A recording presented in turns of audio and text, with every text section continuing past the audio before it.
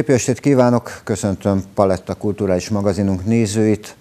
Mai adásunkban először egy beszélgetést láthatnak Görög Istvánnal, a Pákozdi Katonai Emlékpark ügyvezetőjével, tekintve, hogy 27-én, 28-án kerül sor hagyományos módon a Pákozdi csata 171. évfordulóján a Honvéd Fesztiválra.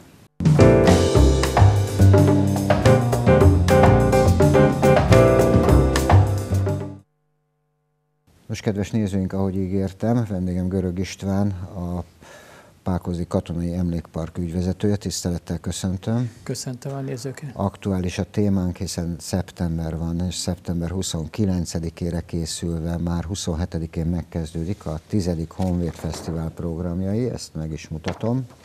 És azt hiszem, hogy igen, is színes változatos a program. Én azt gondolom, hogy identitásunk megőrzésében nagyon fontos szerepet játszik a Pákozdi Katonai Emlékpark, és hogy emlékezzünk 29-ére. Itt viszont a felvezetésben már 27-én elkezdődik, sőt 23-án, de hát mi most a közvetlen fesztivál programokkal foglalkozunk, hiszen pénteken 5 órakor hagyományosan Sokóról látogatunk el először. Igen, köszönöm a lehetőséget, hogy szólhatunk róla. Tehát a 171. évfordulót ünnepeljük a Pákozt, sukoró, Pákozt Pátka sukorói csatának, hiszen azért ezen a háromszögön belül zajlott a egykori első és győztes ütközet, és ennek emlékére minden évben színes programot szervezünk. Úgy, ahogy mondtad, 23-ától 27-ig elsősorban ifjúsági rendezvények vannak, különböző korosztályoknak rendezett honvédelmi versenyek Székesfehérváron és Pákozdon egyaránt. 27-e Ugyan tudjuk, hogy az egykori sukorói haditanács az szeptember 28-án volt, de az idei évben azért, mert hogy a Honvéd együttes, amely egy állandó résztvevője ezeknek a rendezvényeknek, 70. évét ünnepli, és ennek a 70-es évfordulós nagy gálának vasárnap lesz a rendezvénye, és szombaton, tehát 28-án mindenki, aki ott szereplő, azoknak Budapesten főpróbájuk van, most elnézést ezért a prózai felvezetését, de emiatt van az, hogy 27-én pénteken 17 órakor lesz a Sukorói Haditanács megemlékezés, ugyanúgy a Sukorói Református templomba, közösen Sukoró önkormányzatával, amely hát azért most el kell mondani, hogy a 20. alkalommal lesz itt a, a Honvéd férfikar, és minden szempontból ebben az évben ilyen kerek évfordulókat ünneplünk. 10. Honvéd Fesztivál, 20. évforduló 21. alkalommal rendezzük meg a, ezt a megemlékezést, és azon 20 alkalommal ott volt a Honvéd férfikar, akiknek állandó olyan szerepel már ez a naptárukban, és talán az ő csodálatos koncertjükkel meg is adjuk ennek az egész megemlékezés sorozatnak a hangulatot. 28-án... Pedig csak a csatatéri sokadalom. Én azt gondolom, hogy ez mindig érdeklődéssel várjuk, hiszen ez egy családi nap is egyben, hagyományőrző szervezetek fellépnek, és természetesen a jelenkor hadseregét is bemutatjuk.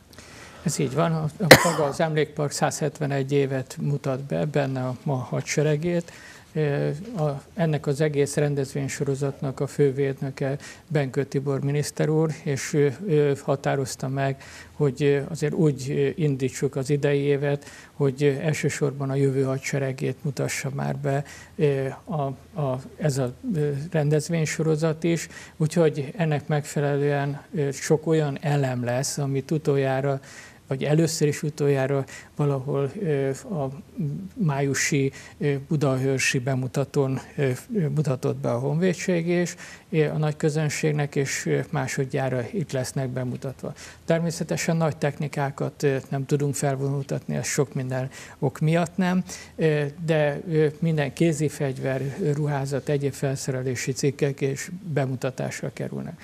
Nagyon fontosnak tartjuk azt, hogy hogy ezen nap egy családi nap. Évek óta arra törekszünk, hogy kiemelt szerepet adjunk a magyar családoknak, és ebbe a fehérváriak élen járnak. Tesszük ezt azért, mert hisszük azt, hogy ez igazi nevelés a családon belül folyik. Ennek megfelelően azokat a az évfordulóhoz kapcsolódó ismereteket, emóciókat a leghatásosabban a család tudja átadni. Családi körben tudják ezt az egészet feldolgozni, és abban hiszünk, hogyha a fehérváriak kilátogatnak családi körben, ebben az esetben ténylegesen olyan programelemekkel találkozhatnak, ahol a család jól érezheti magát, Igen. és ennek megfelelően még ezzel is mélyülhet.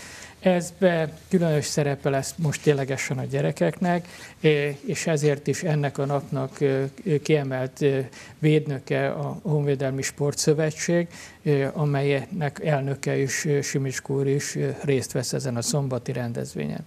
És hát vasárnap lesz a csata emléknapja. Igen. Hát akkor menjünk végig, hiszen a lovak király nagyon fontos számunkra, Szent László a lovak király, és végre mondom én, ugye egy régi álmot teljesült azzal, hogy Nagy Benedek szobrászművész alkotása otthonra talál Pákoznan. Hát ez közös örömünk. Én úgy érzem, hogy ez ténylegesen a megyének, Fejér megye neves szobrásza Nagy Benedek, Móri szobrászművész, akinek egy csodálatos alkotását most is megtekinthették a Városháza folyosóján. Ott van az, az, az a szobor ugyanis, amit a hétvégére visszakerül, vagy kikerül a katonai emlékparkba, ahol bízunk benne, hogy hosszú ideig hirdeti azt, hogy Szent László, a lovak király, egyben a, a magyar honvédségnek egyik, egyik védőszentje, Igen. és talán a legnagyobb egységeknek, a, a, a gyalogosoknak, a lövészeknek, a szárazföldi haderőnemnek a, a védőszentje. Ennek megfelelően kerül egy központi helyre, a dísztér közepére, a, a tíz legfontosabb történelmi kort megidéző történelmi zászló közepére.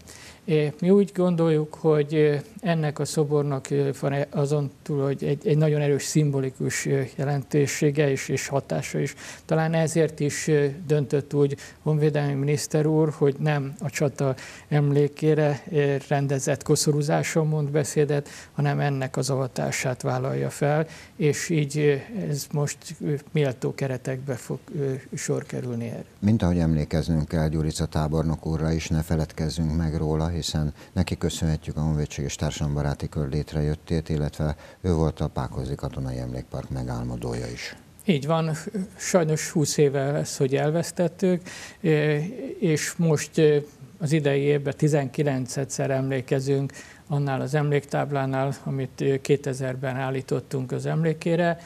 Az idei évi megemlékező gondolatokat Elsimó László országgyűlési képviselő, korábbi harcostárs mondja. Igen, és a csata. Ugye a koszorúzás azt tudjuk, hogy az alapvetés, de a csatát minden esztendőben kiemelten várjuk. Kicsik, Jó. nagyok egyaránt. Nagyon fontosnak tartjuk azt, hogy a koszorúzás is meg fog történni. Szeretném felhívni mindenki figyelmét, hogy a korábbiaknak megfelelően minden koszorút ki lesz víve és fel lesz olvasva a kísérője. Az emlékbeszédet Koron Ferenc a tábornagy Magyar Honvédség parancsnoka és dr. Cserpalkovics András Fehérvár polgármestere mondja. Tervek szerint megelevenedik a 171 évvel ezelőtti csata, a Magyar Huszár és Katonai Hagyományőrző Szövetség mintegy 150 hagyományőrzője és több mint 200 általános és középiskolás diákból alakított ifjú nemzetőr csapat közös részvételével, tehát egy izmos 350 fős, most így mondom, bemutató állomány készül arra, hogy megelevenítse a csatát. És hogy ez történeti hűsége is meglegyen, ezért Herman Robert, aki talán ennek a korszaknak a legnagyobb szakértője, ismételten ő vállalta, hogy narrálja magát a csatát. Így azon túl, hogy hogy egy érdekes látvány, azon túl, hogy egy, egy színpompás bemutató lesz, ezen túl meg azt hiszem, hogy egy történelmi órának sem lesz utolsó. Nos, hát köszönöm önnek, köszönöm neked, hogy megtiszteltél bennünket. És kedves nézőink, tehát kérem ne feledjék, hogy 23-án már várja önöket Pákozon a Katonai Emlékpark, és azt hiszem, hogy egy egész hétre való nagyszerű program, méltó megemlékezés várja a Honvéd Fesztiválon minnyájunkat. Folytatjuk műsorunkat.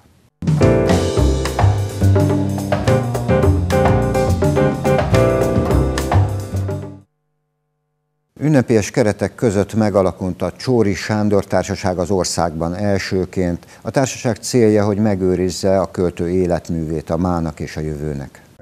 A Szent István Művelődési Ház adott otthont a Csóri Sándor Társaság alakuló ülésének. A társaságot a korszakos zámai születésű 2016-ban elhunyt Csóri Sándor költő író életművének megőrzéséért, továbbadásáért hozták létre.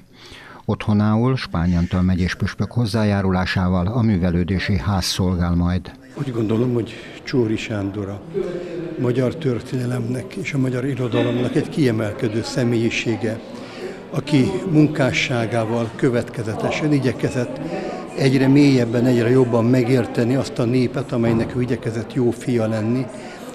Kutatta a vidéken élő emberek sokszor szegényes, nehéz életét, elviselte annak a politikai hatalomnak, amely az egész társadalmat vasmarokkal szorította, hol a tűrés, hol a tiltás kategóriájába való besorolását, és ugyanakkor pedig dolgozott keményen, következetesen a szellem és a lélek erejével azon, hogy a rendszerváltás bekövetkezzen. Amikor ez megtörtént, készséggel vállalta a Magyarok Világszövetségének a vezetését, és az, hogy a Duna Televízió annyi értéket közvetít egészen napjainkig, abban is nagy része volt ő neki. Úgy gondolom, hogy Csóri Sándor emlékét őrizni nem csak azt jelenti, hogy megemlékezünk róla évente egyszer, hanem azt jelenti, hogy tőle tanulnunk kell, ismernünk kell az ő munkásságát, el kell benne mélyülni, és a Csóri Társaságtól azt remélem, azt várom, hogy ebbe segítse nem csak ennek a régiónak a lakóit, a polgárait, hanem az egész nemzetet. Székesfehérvár számára kiemelten fontos Csóri Sándor életműve, ezért a város mindent megtesz azért, hogy a maga eszközeivel támogassa a társaság misszióját, emelte ki köszöntőjében Cserpalkovics András polgármester. Sokan tudjuk azt, hogy Csóri Sándor a magyar kulturális életnek, irodalmi életnek és egyúttal a közéletnek is egy nagyon-nagyon fontos személyisége volt nagyot alkotott életében, és biztos vagyok benne, hogy ez az életmű ez jóval túléli őt magát, és még hosszú ideig ezen keresztül is itt is lesz velünk. Ezen életút szerencsére több pontban Fehérvárral is találkozott.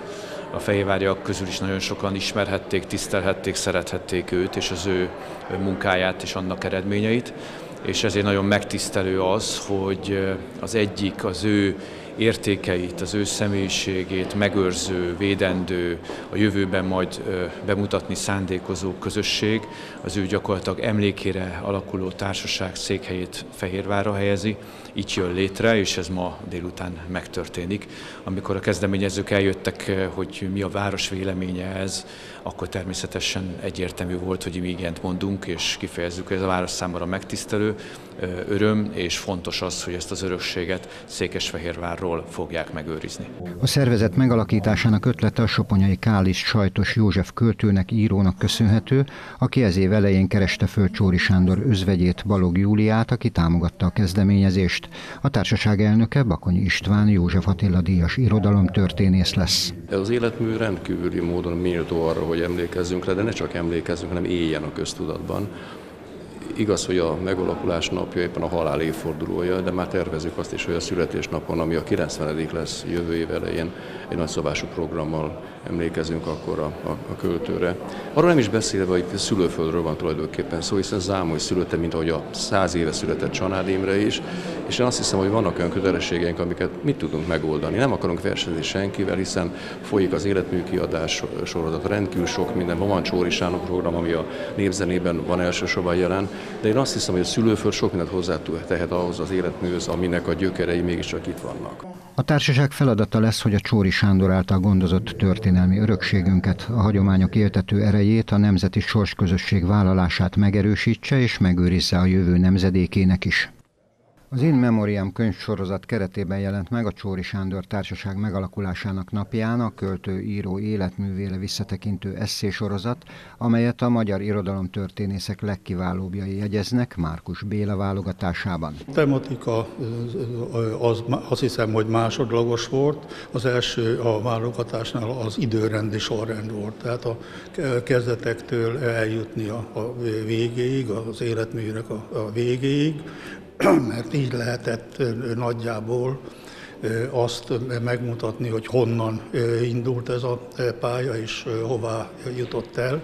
Műfai szempontból is természetesen, mert ugye költőként kezdte, és hát igazából eszéíróként vagy naplóíróként, bár a kései költészete is jelentős, fejezte be az életművét. A kötet szerkesztője Grógás pár nagy kívásként élte meg a Csóri Sándor életmű közkincsétételét, bemutatva azt a sokszínű világban élő, mély gondolatokkal bíró embert, aki zámolyról indulva, a csillagokig jutva, a társadalmi változásokban is mindig meglátta a helyes utat. Csóri Sándorról tulajdonképpen nagyon sok sok írás született, de ahogy ezt az anyagot végignéztük, Márkus Bélával ezt a hatalmas terjedelmű papírtömeget, az volt a meglepő, hogy meglehetősen kevés volt róla az igazán mély szöveg. És ennek egy oka van, az adott cenzurális viszonyok. Mert Csóri olyan izgalmas gondolatokat vetett föl, és ezek annyira nem passzoltak az adott társadalmi berendezkedéshez, hogyha valaki elkezdte ezeknek a mélységeit taglalni, akkor tulajdonképpen följelentette azt, akit dicsérni akart. Tehát így módon a legfontosabb mondani valóját vissza kellett nyelnie. Szerencsére Csóri elmondta azt, amit ő viszont el akart mondani. Azt hiszem, hogy ez a, ez a leglényegesebb tanulsága volt e, e kötet szerkesztésnek, mert ezt menet közben nem vettük észre. A különös, hogy a Csóritól szellemileg, gondolatilag igen messzire jutó, sőt vele szembe kerülő, és nagyon sok mindenben ugye politikailag különös fordulatokat mutató pályájú Tamás Gáspár Miklós mondott valamit ki Csóriról, ami különösen fontos volt, az, hogy ő volt az ifjúságunk.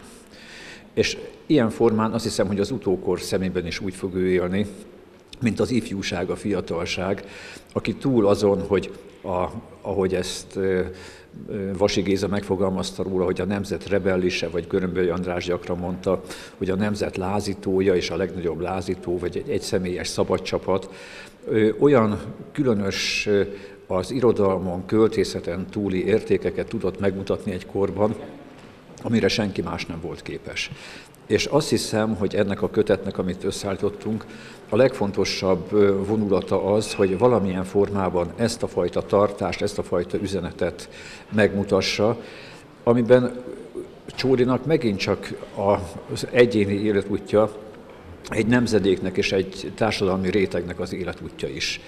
Egy, azt hiszem, hogy itt különösen nem kell mondani, hogy Zámolyból való egy szegény paraszti családból, de egy olyan paraszti családból, amelyeknek megvan a maga méltósága, annak a településnek, a falunak megvan a maga belső szilárd rendje, és ha ebbe a közegbe születik egy kivételes tehetségű fiatal, egy gyerek, akkor azt megtalálja a feladat. A kötet végig kíséri Csóri Sándor költői, mi írói mindennapjainak dilemmáit, azt az ösztönző erőt, amely elkísérte útján a gondolkodás serkentő lírai kísérletezésben, a megerősített hit nyomában járva.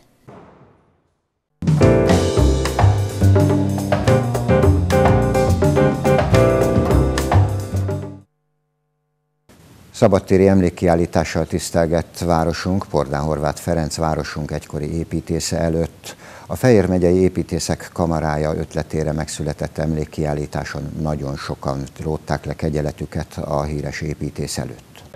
Az országzászló téren nyílt meg Pordán Horváth Ferenc városunk első Schmidt Ferenc díjas építészmérnöke, a 20. század második felének egyik legjelentősebb székesfehérvári tervezőépítésze munkásságáról készült szabadtéri emlékkiállítás. A pályatársak nevében Csutin és Ler Erzsébet építészmérnök foglalta össze a kortárs építészet kiválóságának tevékenységét. Róla tudni kell, hogy egy tehetséges, kedves és nagyon szerény ember volt, és mi úgy gondoljuk, hogy egy picit az utókornak az emlékezete is szerény, és ezt szeretnénk valójában áttörni. Hát talán a legfontosabb, amit az ő építészetéről mondhatunk, hogy azok az épületek, amelyek jellemzők rá, amelyeket köztudott, hogy ő tervezett, akár a Brunswick óvoda, akár a Béketéri iskolának a bővítése, ezek akármennyire is nem gondolná valaki, ezek 60 éves épületek. Na most 60 évvel ezelőtt építeni valamit úgy, hogy ez 60 év után most is modernnek, frissnek és örökérvényűnek hat, én úgy érzem, hogy ez a tehetségnek, a, meg a, jó ízlésnek a nagy mérvadója, és ez tanulságos szolgálhat szerintem a mai építészeinek is. A kiállítás tablóin a fehérvári építész legjelentősebb alkotásai láthatóak. A képek alatt Pordán Horváth Ferenc saját gondolatai, munkáival kapcsolatos jegyzetei is segítenek a kor és az alkotó megismerésében. A tárlatot Lantai Attila, Székesfehérvár főépítésze nyitotta meg. Pordán Horváth Ferenc a 20. század második felének legnagyobb tehetségű székesfehérvári alkotója, aki életművével bizonyította tehetségét. Főművének tartom a Székesfehérvári Technikaházát, melynek könnyedsége, anyagszerkezete, anyagformálása, formai megoldásai a világ összes országában megállnák a helyüket. A Fejér megyei építészek kamarája által rendezett szabadtéri fotókiállítással az utókor Pordán Ferenc építész alkotói nagysága, magas színvonalú gazdag életműve előtt tiszteleg. Nyugodtan mondhatjuk azt, hogy bár azt lehet mondani, hogy modern kézzel, modern szemmel alkotott, nagyon sok egészen különleges, már ilyen szempontból különleges épülettel, hisz itt a háttérben van mindegy ilyen, de ugyanakkor azt lehet mondani, hogy közkedvelt és köztiszteletben álló a munkája. Most nem csak a személye, mert azt nyilván ezt elsősorban a szakmabéliek ismerik, meg a közvetlen megbízók csak az ő személyiség személyiségét, de, de ugyanakkor azt lehet mondani, hogy ő mindig megtalálta azt az örökérvényűt, ha szabad így mondani, a építészetben, ami a 60 évvel ezelőtti munkái is nyugodtan felvállalhatók lehetnének bármelyik tervező részére a mai nappal is. Hát azt hiszem itt a Budapest Bank épülete, vagy a STK-nak a épülete a Távirda utcában vagy hát az, ami nívódíjat is kapott, az a technikaháza. Úgyhogy ezek mind olyanok, amik mondhatni, hogy a városnak igencsak meghatározó épületei, és bármikor, bármilyen módon vállalható épületei. Pordán Ferenc legjelentősebb alkotásai Székesfehérvárhoz kötődnek. Épületeire a magasfokú igényesség, a környezettel való érzékeny kapcsolata jellemző. A háború utáni korszak Székesfehérvári építész történetében elvitathatatlan helye van életművének.